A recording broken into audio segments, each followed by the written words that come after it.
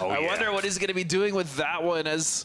I mean, this one is going to be difficult just because of how spread out Cerberus is. But yeah, he's lining it up here. We'll see if he can find Uh, anything. And this is where spotters help out, right? Mime's up there just kind of feeding the angles in, see how this one's going to come. It looks like his beat onto Paisaki is pretty strong. Now it's going to be about, does he have the, the numbers to Oh my goodness! Tig just says, hell. You sit back down, sir. Pretty strong. That did 300 damage that landed on his That was, a, face. that was a headshot with a mortar.